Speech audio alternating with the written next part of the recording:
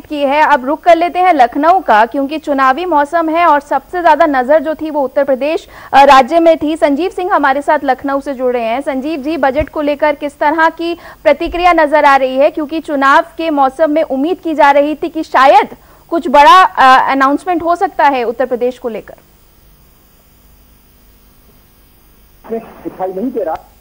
साथ है, लेकिन जिस तरह से जब बजट आया है तो ये कहा जा सकता है कि इसको लेकर कुछ वर्गों में खुशी है तो कुछ वर्गों में गम भी है। यानी कि जैसे किसान है उनके लिए काफ़ी फ़ायदेमंद रहा लेकिन युवाओं की अगर बात की जाए रोज़गार एक सबसे बड़ा मुद्दा रहा। हमारे साथ कुछ रोज युवा लोग हैं उनसे भी बात करेंगे कि जिस तरह से आज का जो बजट पेश किया गया क्या लगता है कितना युवाओं के हित में रहा और रोज़गार की जो बात की जाए? मुझे अभी तक लेकिन डिजिटल तो कहीं ना कहीं आगे भविष्य में पाएगा किसानों की बात की गई है कि किसानों को सब्सिडी दी जाएगी लेकिन अगर युवा हैं और इसके अलावा जो है शिक्षा जो है टेक्निकल जो शिक्षा है उसके जोड़ दिया गया है। इस चुनाव में क्या लगता है कितना इससे तो फ़ायदा ही लग रहा है लेकिन तो वहाँ को रोज़गार के मामले में रोज़गार की सरकार बिल्कुल भी जागरूक नहीं है। हालाँकि कहीं एग्ज़ाम हो रहे हैं उससे मतलब रिज़ल्ट आउट हो रहे हैं। रिज़ल्ट से कोई मतलब कोई नियम नहीं है कोई कानून नहीं है। मतलब किस हिसाब से रिज़ल्ट दे देंगे कोई वो नहीं है। बस ये है अपने मनमानी कर रहे हैं कोई भी रिज़ल्ट आ रहा है जैसे अभी हाल ही में का रिज़ल्ट है। बेरोजगारी एक बड़ा मुद्दा रहेगा संजीव जी साथ साथ मैं ये भी समझना चाहूँगी जिस तरह से शेयर मार्केट आज हमने देखा कि अब आम आदमी भी शेयर मार्केट में इन्वेस्ट करने लगा है।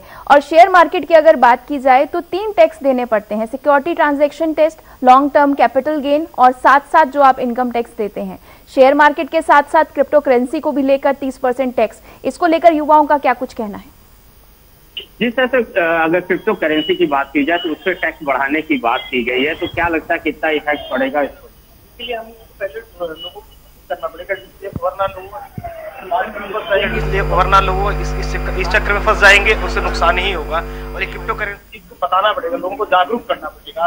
और जहाँ तक हम लोगों की बात जो युवा है और हम लोग नौकरी के लिए तीन साल के हम में रह रहे हैं और पिछले तीन सालों से भाव भरे हैं अभी तक रिज़ल्ट दिया और जहाँ पे रेलवे और बैंकिंग की बात है तो पहले चालीस चालीस का रिश्ता आते क्लर्क की चालीस हज़ार बीस हज़ार की इस समय पाँच सौ पंद्रह सौ से लेकर के तीन हज़ार तक की तैयारी और जो क्लर्क की वहाँ की जाती चालीस हज़ार से आठ जिस तरह से बजट में जो है वंदे भारत जो ट्रेन की बात कही गई है कि 400 ट्रेनें बनेंगी कि यानी कि दौड़ेंगी भी।